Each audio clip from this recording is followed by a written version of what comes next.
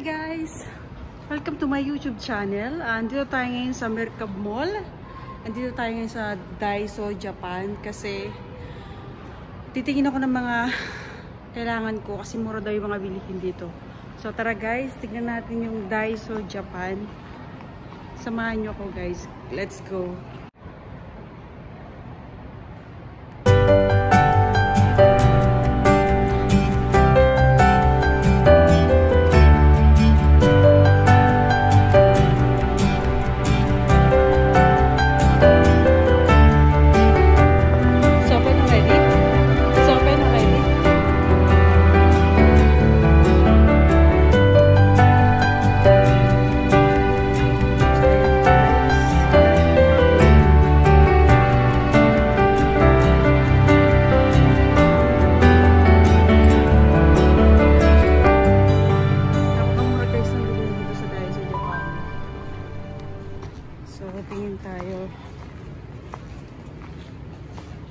Ayan, ang gaganda oh.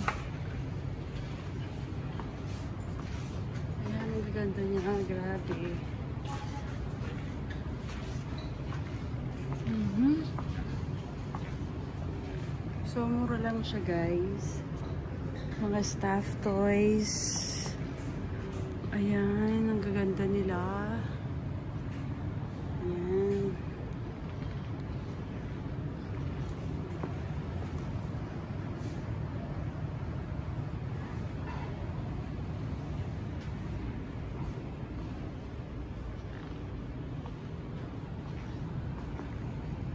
Ayan, so dami mo. Marami kang pwedeng pagpilian. Kung ano man yung mga gusto mo. Ayan. Ito mura lang to. 7 lang siya. Ayan, 7 lang yung price niya. So, titignan ko kung anong pwede kong bilhin.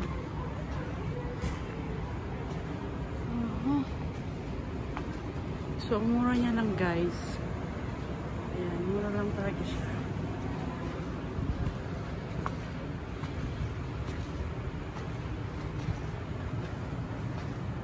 Para meron akong hinahanap eh.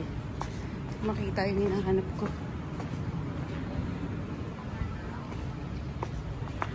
Mhm.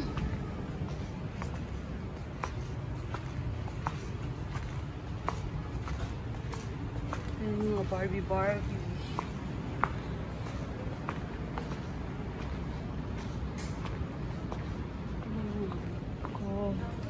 Ah, ito yung mga pang makeup makeup. Okay. Oh.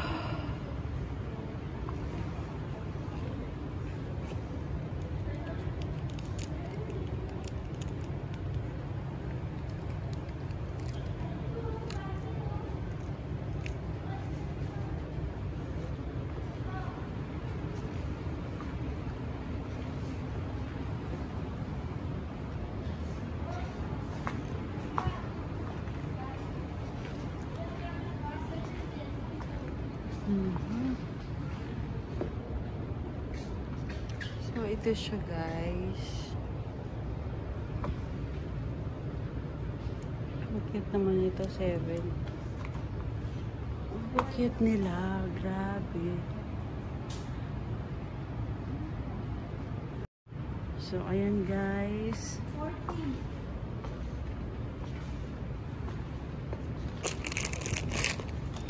Mura lang siya. Mhm.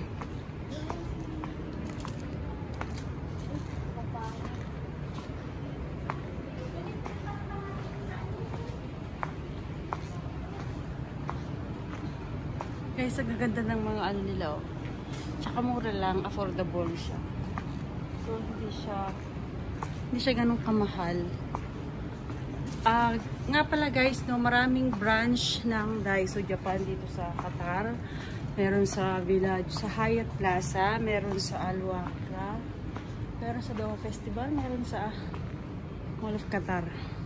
So, pwede kayong pumunta guys sa ibang branch ng Daiso Japan.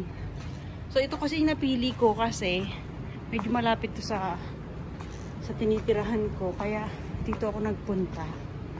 So, ayan siya guys. Oh. So, magkano lang siya. Parang, parang puro 7 ang nakikita ko. So, 7 real lang siya. Yung mga products nila dito. So, hindi siya ganun kamahal. So, hindi siya ganun kamahal, guys. Mm -hmm. So, ayan. Ah, ito. Mag... Ito, mura lang din. Ayan. So, ito pink. Ayan. Hmm. So, ito na mga artificial flowers. Yun. So, um, parang puro 7 lang yata nakikita kong presyo ng mga bilihin dito. Ayan. Ah, may rocks din dito. So, ayan guys. Nakita na natin lahat.